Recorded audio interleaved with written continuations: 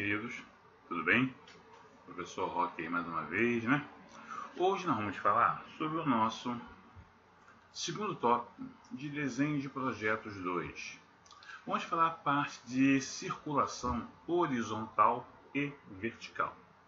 Bem, como você sabe, em circulação horizontal é quando você se desloca por qualquer lugar, né? isso no sentido horizontal, quer dizer, no sentido você indo de um lado para o outro, né? vamos dizer assim, né? de um lado para o outro, né? de frente para trás ou de trás para frente, você está circulando no sentido horizontal.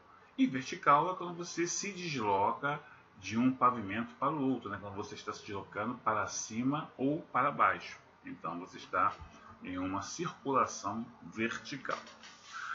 Bom, para que você possa fazer o deslocamento de um, de um pavimento para o outro, tanto de pessoas como de cargas, né? Cargas é qualquer coisa, de qualquer tipo de mercadoria, qualquer tipo de móveis, qualquer tipo de coisas que não seja humana, nem que não seja né, animal. Né? Então nós dizemos que é uma carga, apesar que nós também somos uma carga, né? Bom, então nós temos os elevadores, né? Os elevadores, né, é o seguinte, né? Toda edificação com seis ou mais pavimentos, de qualquer natureza que sejam esses pavimentos, tá? excluindo o subsolo, tá? mas incluindo os outros pavimentos, pavimentos de, de uso comum, né? playground, estacionamento, é, entendeu? e cobertura com unidades independentes, elas são obrigadas a instalar no mínimo um elevador. Então tem seis ou mais pavimentos, né? Você tem que instalar no mínimo um elevador.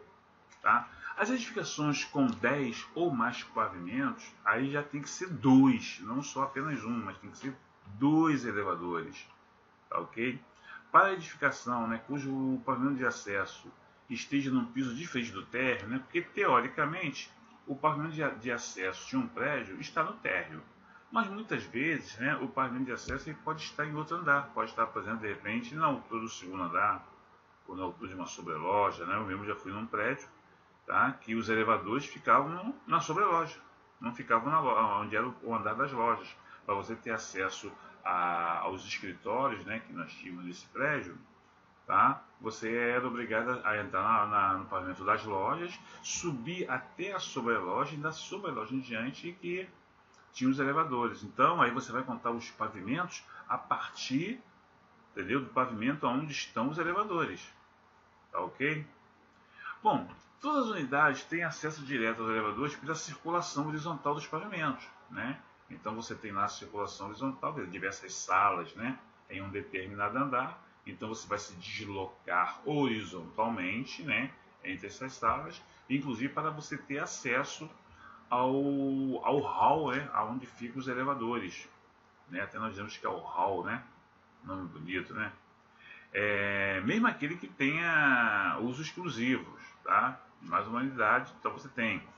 É, a circulação horizontal comum, né, poderá, quer dizer, uma ou mais unidades poderá acessar uma circulação horizontal comum que não esteja diretamente ligada à escada de incêndio.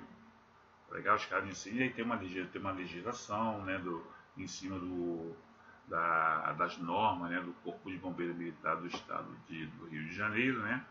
Você tem que ter lá né, uma escada, né? Contra incêndio, que ela tem que ser enclausurada, né, porta a porta fogo, tem que ter uma chaminé, né, tem que ter uma janela né, ligada a uma chaminé para fazer a exaustão dos gases, da fumaça, né?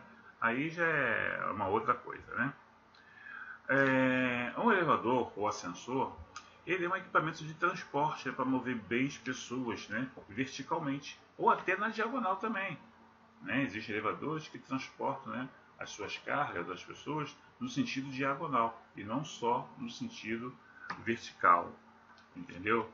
É, o primeiro elevador foi construído em Roma, gente, olha só, no século I antes de Cristo. Lógico, era uma coisa artesanal, né, com roldanas, com cordas, né? Aí o, utilizava os animais para fazer o deslocamento né, da, dessa cabine, ou então utilizava-se escravos, ou até mesmo água né, para fazer isso. Tá beleza? Então aqui tem a história aqui, né?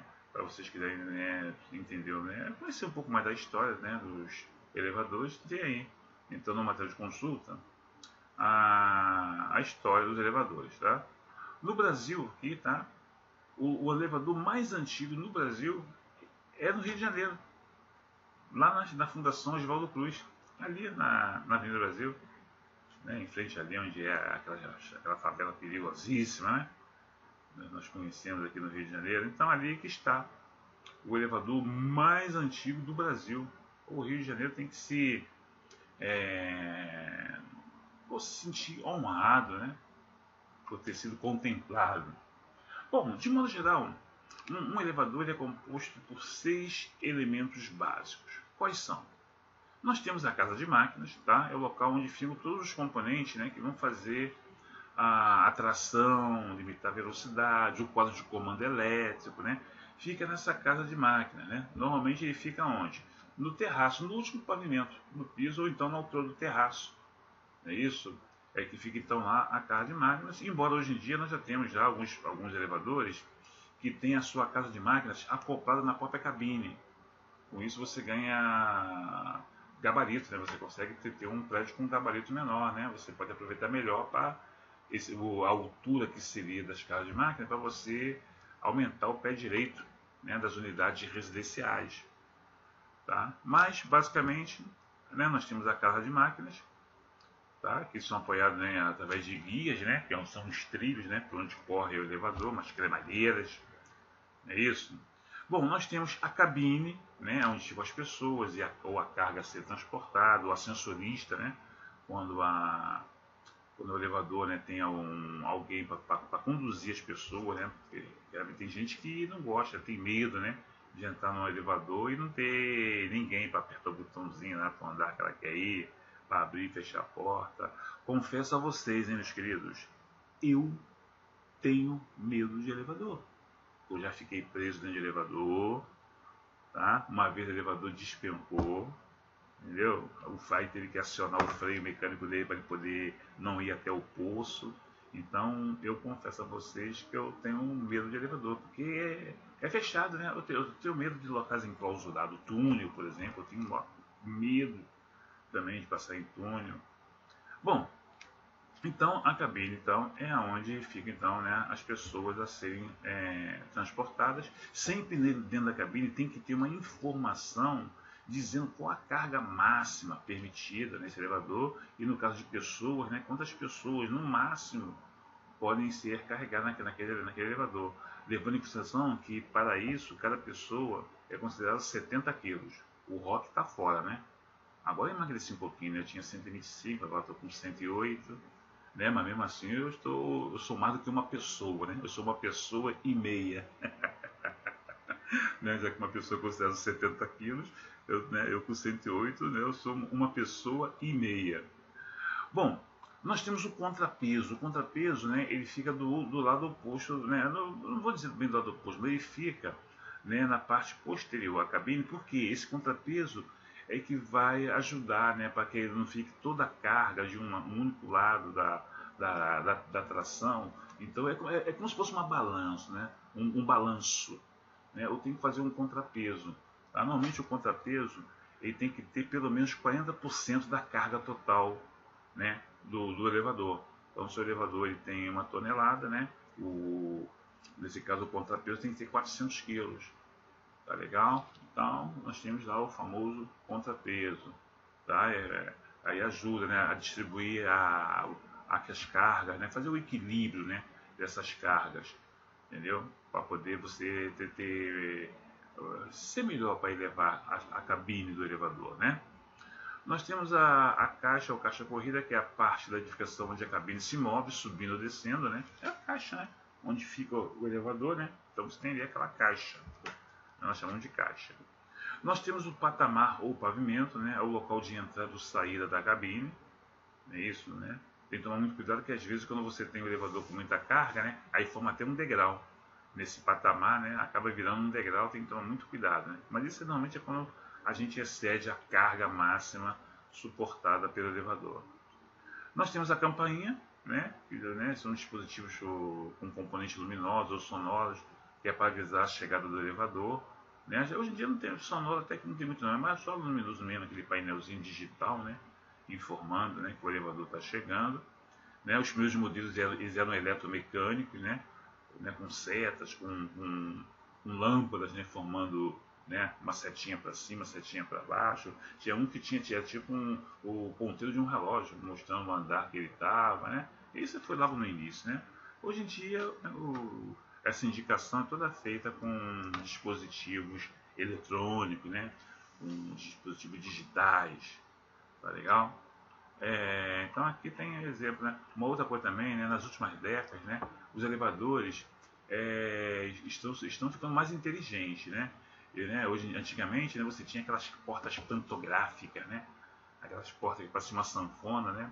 Pra, inclusive você tinha que abrir aquela porta, né?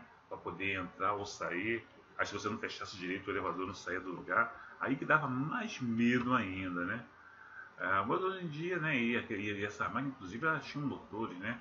Avantajados, casas de máquina, né? Gigantesca, né? Hoje em dia os elevadores já estão aqui, né? Já tem aqui um desenhozinho, né? Hoje em dia não tem mais casa de máquinas. Né? Nós vimos que é elevador com caixa acoplada, né? E ficou em portas pantográficas, né? Então ficou um negócio bem mais moderno, mais confiável, né? Dá menos medo. Eu trabalhava num prédio que era maior barato. Como eu tinha medo, aí para eu poder é, disfarçar o meu medo, eu ficava brincando de elevador. Aí tinha uma senhora que uma vez ela entrou e eu contei né, o lance, né? Que eu tinha eu, eu, acho que eu dava azar, porque tu, duas vezes eu entrei no elevador e duas vezes o elevador despencou. Né? Um elevador parou, na outra despencou. Gente, quando a mulher entrava no elevador, né, abria a porta no andar dela, ela via que eu estava lá dentro, ela não entrava. E se ela já estivesse dentro do elevador e eu entrasse, ela saía. Ela ficou com medo de andar comigo, ela achou que eu era, eu era azarado. Bom, existe uma coisa chamada monta-carga, né? Monta-carga é um tipo de elevador para transporte só de material. Normalmente a gente usa muito monta-carga em obras, é, quando você está fazendo uma obra, um prédio novo, né? Você usa, usa o monta-carga para estar tá levando cimento, tijolo, né? De um andar para o outro, você pode utilizar não só monta-carga, como também você pode utilizar uma grua, né? Quando você tem um pouco mais de espaço, você pode montar uma grua. Senão você monta um monta-carga e pode fazer isso. E, ou então também para você transportar, por exemplo, num restaurante que tem vários pavimentos, né? aí a cozinha fica lá embaixo, aí você quer transportar né, a comida para a parte superior, aí você vai pelo monta-carga, né? E isso em alguns hospitais, em hotéis, em restaurantes, né? Normalmente costuma ter esse monta-cargazinho. Bom, outra maneira também que tem para você se deslocar verticalmente, tá? São as rampas né? que é uma alternativa às escadas, né? Porque você pode ter né, as, escadas, inclusive até a rampa está, no, está antes da escada. Eu deveria estar primeiro falando sobre escada, né? E, e depois de rampa, mas tudo bem. Então a rampa é uma alternativa, né? É, às escadas para você poder vencer um desnível, né?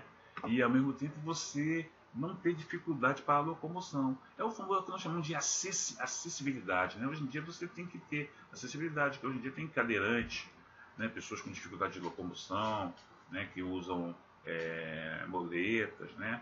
Então ela necessita, a escada fica muito sacrificante. Às vezes vai estar vindo com um carrinho de criança, entendeu? Aí você fica, então é meio sacrificante você usar a escada. Então a rampa, ela tem essa vantagem, tá? O único problema da rampa é que você tem como calcular a inclinação correta, né? Para não ter problema de, também da pessoa cansar subindo uma rampa. Tá legal? Então aqui vem mostrando aqui, né, através da norma NBR 9050, né, como se faz o cálculo da inclinação de uma rampa, né? Por exemplo, ideal uma rampa é 8%, né, de inclinação, então ela tem 8% do valor do seu comprimento, a altura, né, corresponde a 8, a 8, a 8% do comprimento dela, né? Você vê qual é o comprimento da rampa, né? E se você quer uma inclinação de 8%, então você vai ter uma altura correspondente a 8% do comprimento da, da rampa, né? da extensão da rampa. Né? Bom, aqui está mostrando aqui, né, como é que você faz o cálculo né, de uma rampa. Né? Aqui tem exemplo aqui de uma rampa. Tá? É, a norma não diz que a rampa né, deve ser coberta, mas é sempre recomendável tá? você ter uma rampa coberta por causa de chuva. Né? E não esquecer que o piso tem que ser antiderrapante, tá? para evitar acidente. Tá? E a outra forma né, tem, também tem que você se locomover verticalmente é através das escadas. é isso? A escada é formada por uma série de degraus, é isso? Ela pode ser de concreto, pode ser de ferro, pode ser de madeira uma, ou uma combinação de todos esses materiais, tá?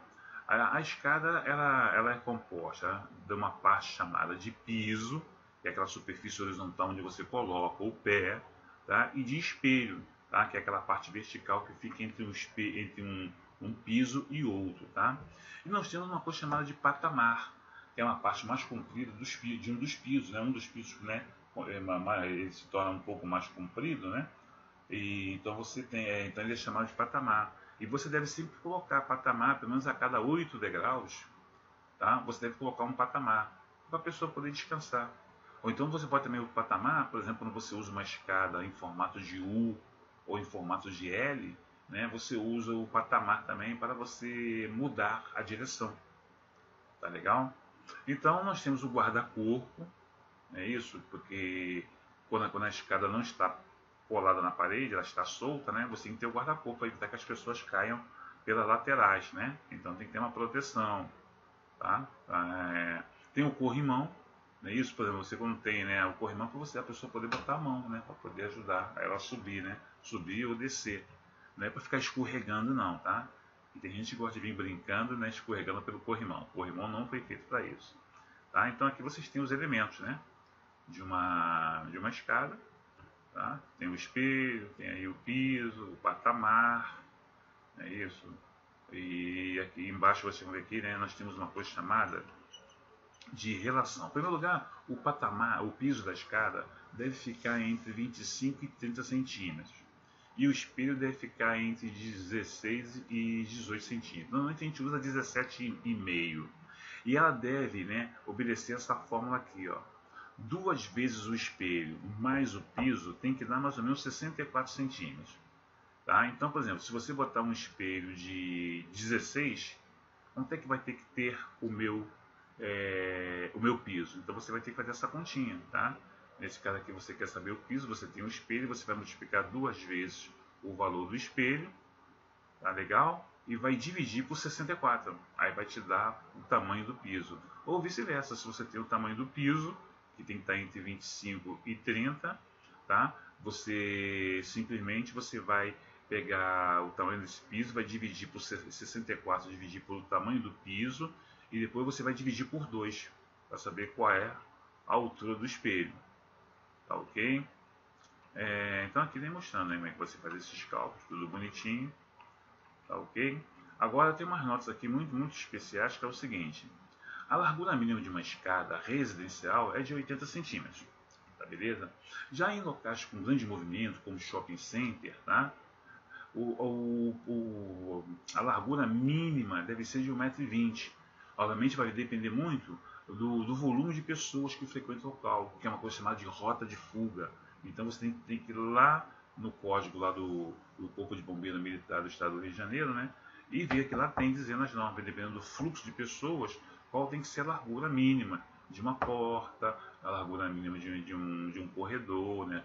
de uma escada, que é para, na hora do pânico, né? evitar acidente. Tá? Aqui foi o lance que eu falei, né? para evitar fadiga, as escadas né, devem ser providas de patamar a cada oito pisos.